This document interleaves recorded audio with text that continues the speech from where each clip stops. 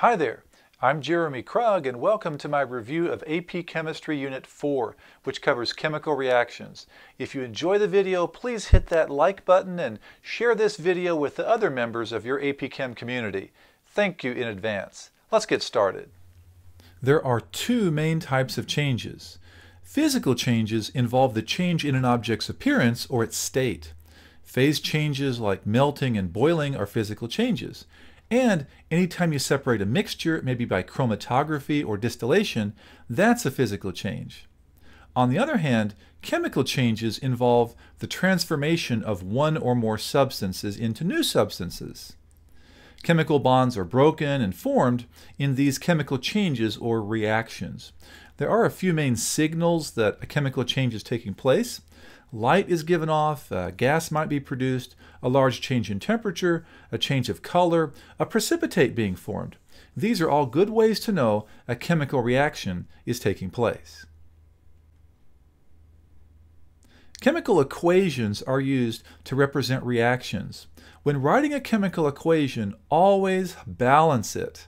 Balancing an equation shows we always conserve mass and atoms in every chemical process be able to balance equations. When solutions react, some ions that are present may not be reacting, so it's useful to write a net ionic equation.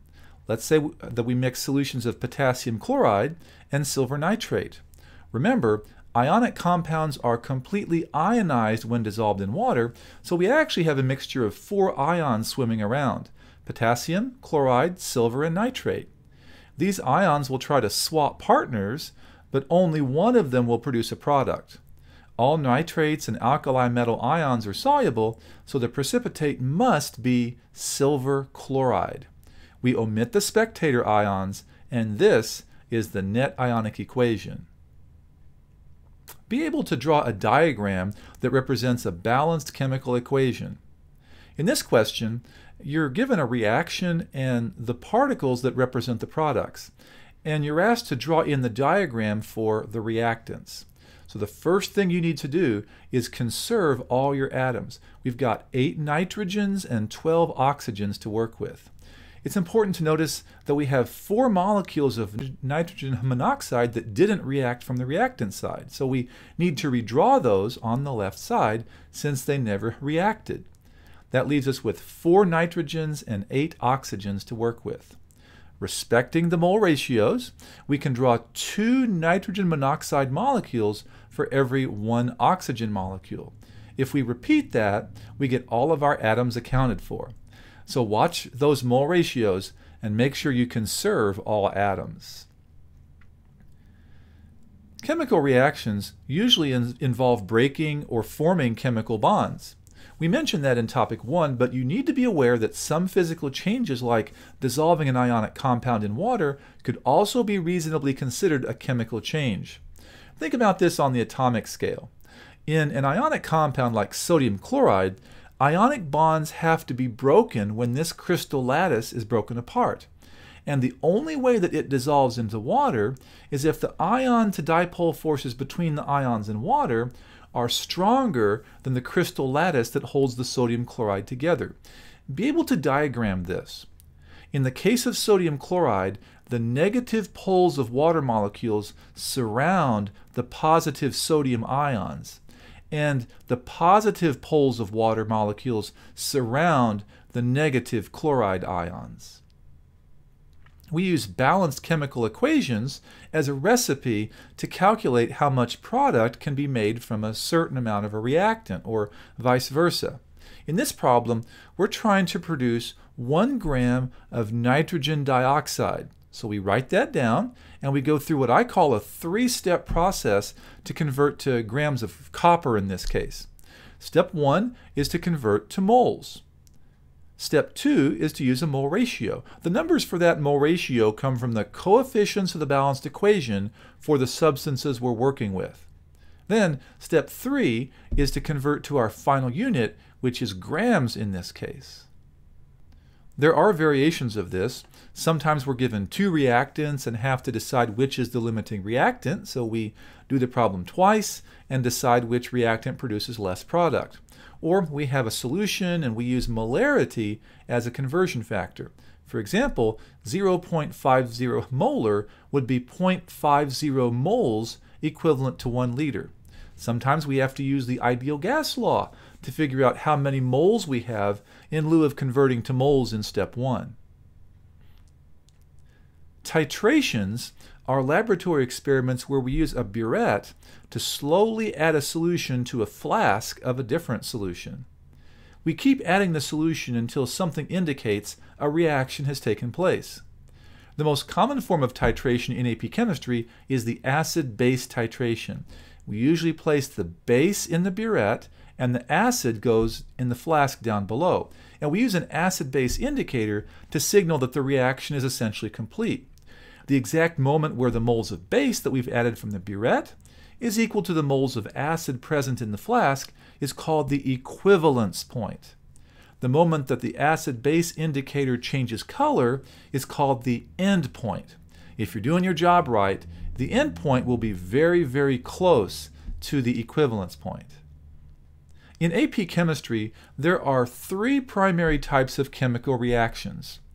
Acid-base reactions involve the transfer of a proton. Remember that a proton is, is essentially a hydrogen ion, or H+. Oxidation reduction reactions involve the transfer of electrons. The species that loses electrons is said to be oxidized, and the one that gains electrons is reduced. Be able to determine the charge or oxidation state of any atom in a species. Here are some of the basic rules of thumb. In some species, it's not obvious what the oxidation state of the element is, like the nitrogen here in nitrate. So here we'd use algebra to solve. Oxygen is nearly always negative 2 in a compound, and if the whole ion adds up to negative 1, then nitrogen has to be positive 5. In precipitation reactions, two soluble ionic compounds combine and two of the ions join together to form a solid precipitate, like in this example between solutions of silver nitrate and potassium chloride. You don't need to memorize all the solubility rules. Just remember that compounds containing alkali metal ions, ammonium, and nitrates are always soluble in water, so the other compound must be the precipitate. The Bronsted-Lowry definitions tell us that an acid is a proton donor and a base is a proton acceptor. Remember, a proton is just an H plus ion. In this example, hydrochloric acid reacts with water to produce hydronium ions and chloride ions.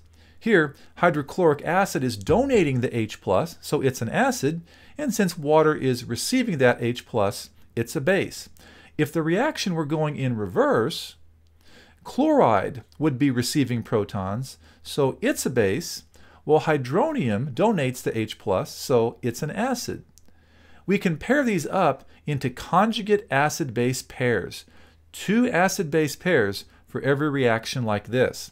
In every conjugate acid-base pair, the acid has one more H plus than its conjugate base. Realize that water can act as either an acid or base depending on what it's reacting with. Since this reaction goes essentially to completion, that means hydrochloric acid is a very strong acid as it donates pretty much all of its protons to water.